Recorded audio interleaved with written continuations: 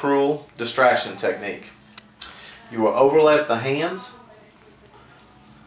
on the foot, getting as close to the talus as possible. The thumbs will be parallel on the plantar surface of the foot. The patient will be asked to relax the ankle dorsiflexors.